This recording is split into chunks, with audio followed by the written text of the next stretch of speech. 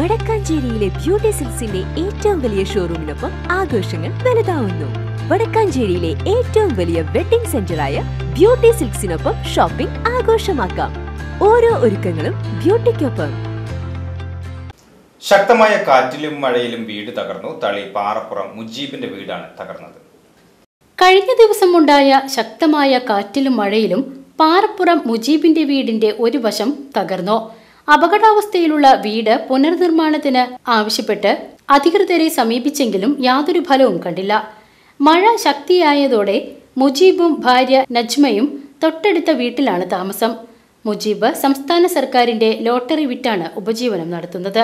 V News Thali.